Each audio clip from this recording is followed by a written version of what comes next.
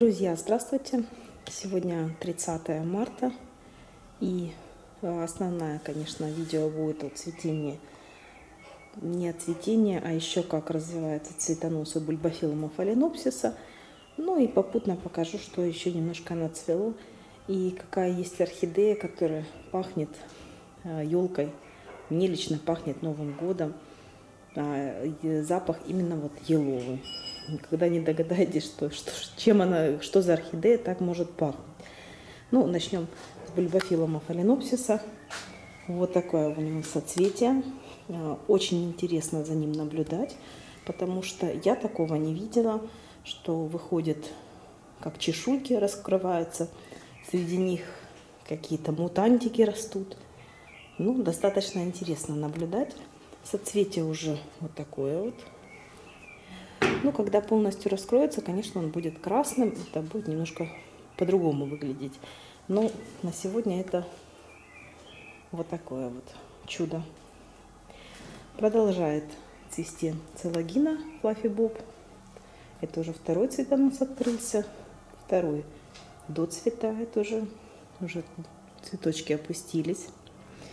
На заднем плане цветонос это котлея шелериана на шамбурке тамсониану. Она мне в прошлом году одним цветком цвела, а в этом году будет шесть. Цветы у нее такие с рюшами крученными. Будет очень красиво. И такой ровно стоящий цветонос. Распустилась моя первая, самая давняя ванда. Цветочки у нее очень крупные. Вот такие вот ну, Роберт Делайт Блэк. Вот такая вот. А, доцветает. Сидит, кстати, она у меня в горшке с крупной корой. Идеальный вариант, как в домашних условиях. Растет, цветет и сильно с поливом не заморачиваясь. Пролила и все. Так, ну, целогинку я в прошлом видео показывала. Она револьверная. Уже эти бутончики доцветают, будут цвести новые прошлое видео попала Людоманиана цирулея. Сейчас на ней появилась, появились вот эти вот прожилки, которые ценятся в цирулейных формах. Весь цветок покрывается прожилками. Это происходит на пятый-седьмой день. Вот такая вот она, красавица. А, бутончики выходят у котлеи люминозы. Ну, цветет она уже, наверное, раз десятый, поэтому неинтересно. И моя котлея, которая стоит у меня на аватарке, это котлея Гейлармонт. Я замеряла цветок 27 сантиметров. Это огромный цветок, это очень красивая котлея. И губа такая необычная в том плане, что вот такие как брызги. Ну, очень удачный гибрид. Растение относительно небольшое, относительно цветов. Пахнет, пахнет, как и все котлеи. А в плане выращивания немножко вредноватая, но, по-моему, она этого стоит. Ну, цветок как голова, наверное, человеческая. Ну, наверное, только не сильно большая. Так, ну, майка и Майюми доцветает. Здесь у меня сафронится я поставила. Оказывается, что то, что на блоках легче в кашпо ставить и немножечко поливать водичкой. Ну, гигантея доцветает. Тут у меня распустился фаленопсис, который попал ко мне случайно. Как оказалось, это фаленопсис согапони.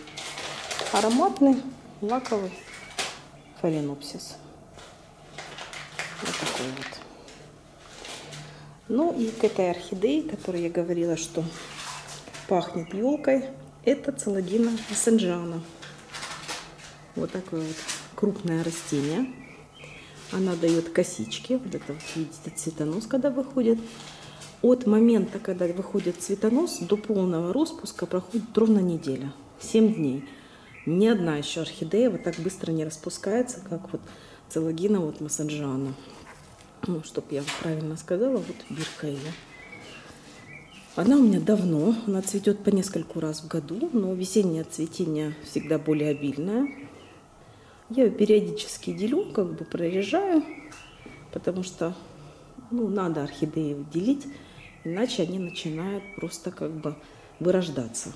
Бульбы меньше и меньше, а так большую переднюю часть оставляешь, и наращиваются у тебя бульбы все здоровее и красивее. Естественно, чем больше бульбы, тем длиннее цветоносы у нее.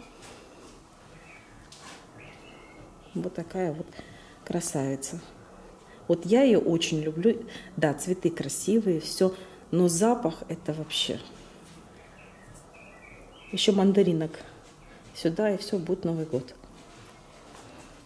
Ну, вот такое вот видео про бульбофилу и цветение Гейлармонт котлеи и ежи с ними целогины Масальджана.